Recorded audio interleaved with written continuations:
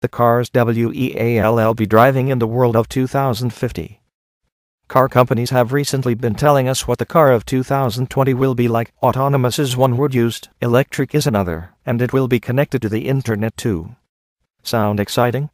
It is, but it is as doubtful why OUALL find all of this on the forecourt in the next seven years. Cars typically get completely redesigned every five to seven years. However, the directions being proposed are a very good starting point to look even further and ask the question what might the car of 2050 look like? For a start, will there even be cars in 2050? Will an invention that will be 150 years old by then be replaced by something better? Will environmental concerns kill it? Will people become tired of getting behind the wheel, as recent studies suggest? The answer seems to be a and maybe a, but the reality is that the automobile is a very liberating and flexible means of transportation. It fulfills people's desire to move around freely and independently. And done right, the automobile can be a sustainable and safe means of transportation.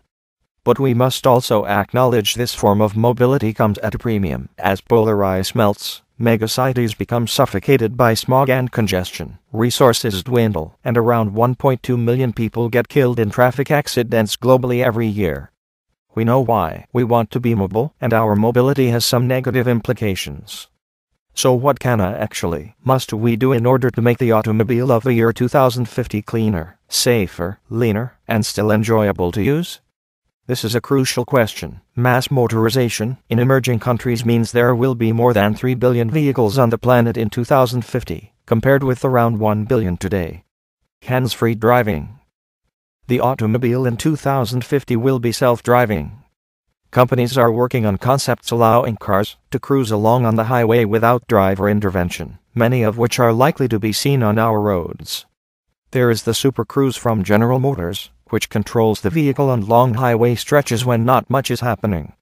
Then there is the traffic jam assistant from BMW. Cars move along in a congested traffic area just like a school of fish. Or Theria as road train from the European SARTRE project which includes Volvo, where one vehicle, with a professional driver leads a platoon of other vehicles connected virtually, and following, like pearls on a string along the highway, turning the commute into possibly more productive time, as the drivers can now work or rest. And when the car makes it to its destination, it can park itself in a high tech parking structure, just as Audi has demonstrated. Will the driver need to do anything at all? Will there still be a steering wheel?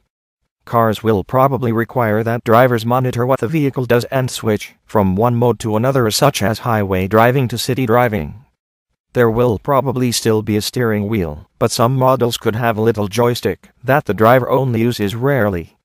Driving is likely to get much safer, human error still accounts for the majority of all accidents, and also much more efficient, as centralized traffic control will lead to a smoother flow and less congestion.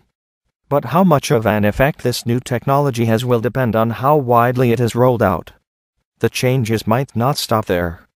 We may also have some other kinds of automobiles, which are small, highly efficient mobility pods similar to the GM EN-V concept, or autonomous vehicles, like the Induct Navia.